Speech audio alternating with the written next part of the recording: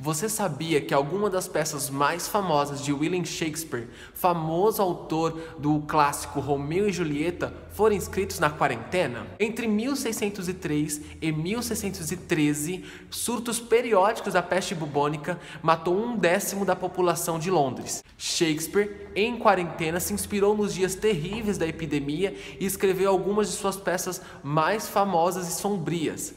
Rei Lear, Macbeth e Antônio Cleópatra. Que tal você se inspirar também e aproveitar esse tempo de isolamento para escrever alguma coisa ou quem sabe você realizar a leitura desses textos incríveis que estão disponíveis na internet e também aqui na nossa biblioteca municipal. Até a próxima, galera. Tchau, tchau.